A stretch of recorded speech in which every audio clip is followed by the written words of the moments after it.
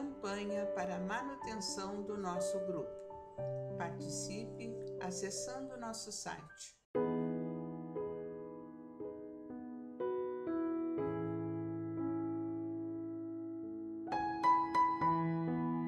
Olá, queridos irmãos, sejam todos muito bem-vindos ao canal do Grupo Espírita Francisco Xavier.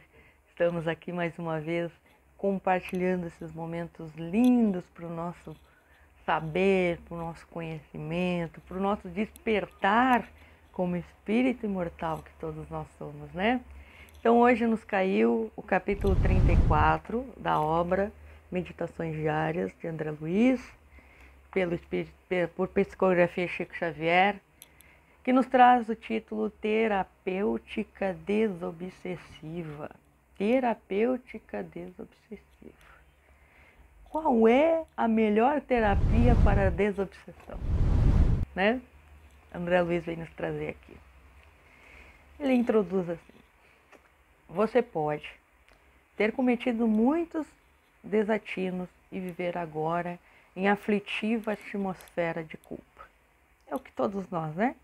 Nós cometemos erros no nosso passado, seja nessa vida, seja em outras, e agora temos essa atmosfera de culpa que nos carrega pelos nossos equívocos do passado. Mas vamos entender um pouquinho a mensagem.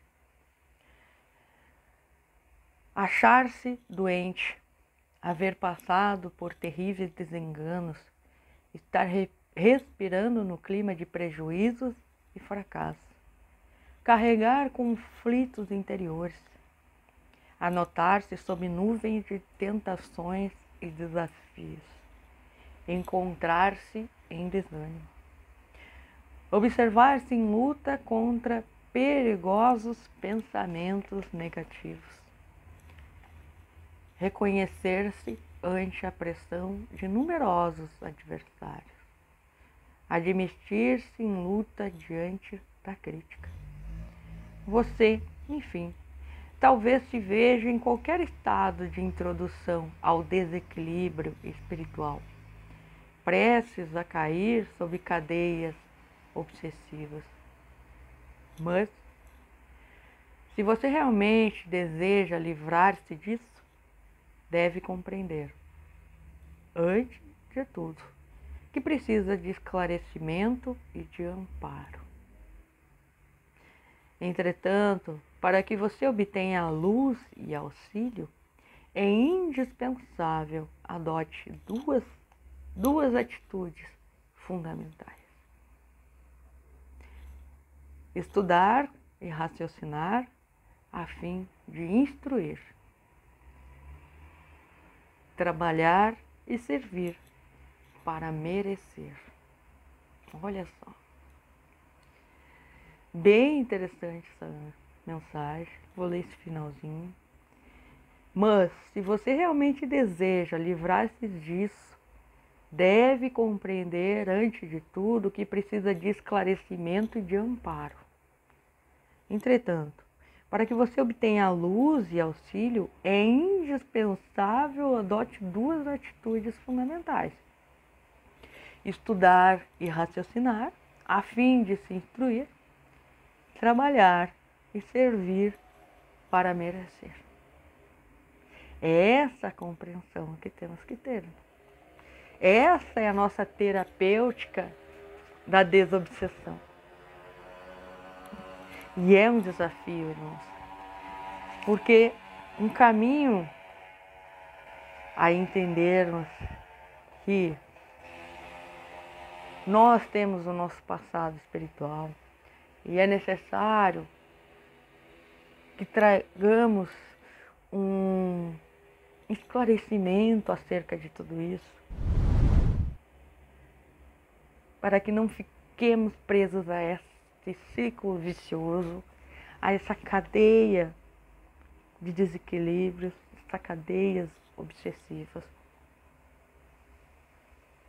E o Espiritismo vem nos convidar amorosamente a buscar esse esclarecimento, a buscarmos essa instrução, para que não caiamos nesses erros que ainda estão presos em nós, repetindo padrões de comportamento ao longo dos séculos e que ainda continuamos repetindo.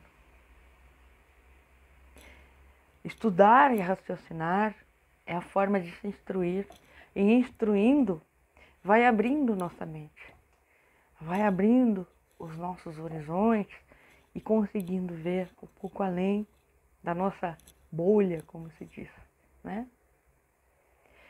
E também há um outro ponto que André Luiz nos fala aqui. Trabalhar e servir para merecer. Irmãos, essa é a lei de trabalho. A lei de trabalho vem nos trazer lá no livro dos Espíritos que o trabalho é toda ocupação útil. Mas também que todo trabalho edifica o homem. É no trabalho que se constrói essa transformação. E nem sempre as pessoas entendem que esse merecimento advém do fruto do trabalho.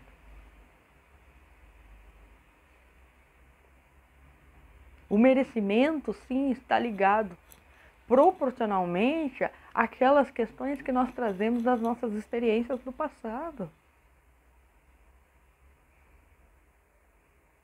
Por que, que alguns irmãos nascem em situações tão vulneráveis, tão difíceis, que têm que trabalhar muito mais para conseguir conquistar as coisas, comparado àqueles irmãos que nascem em situações mais confortáveis e não precisam ter tanto trabalho laborativo para conquistar.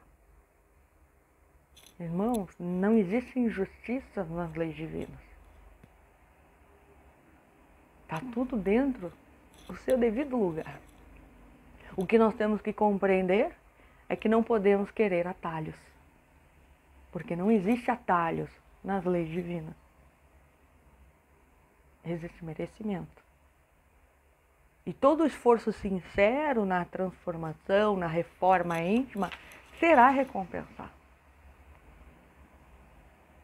E cada um de nós tem um propósito na sua jornada. E é necessário entendermos e despertarmos para esse nosso real propósito, para aprendermos a suportar o processo. O processo é doloroso, irmão. Exige de nós renúncias, sacrifícios, mas não há, dúvida, não há dúvida que todo esse sacrifício será recompensado. Mas não trabalhemos por essa recompensa. Trabalhemos para a nossa melhora, para a nossa, para o nosso aperfeiçoamento, para a nossa evolução. Que é isso que Jesus quer de nós, que é isso que Deus quer de nós para que sejamos merecedores das bem-aventuranças, das alegrias celestes no porvir. Muito obrigada, irmãos. Fiquem com Deus. Até a próxima. Campanha para a manutenção do nosso grupo. Participe acessando nosso site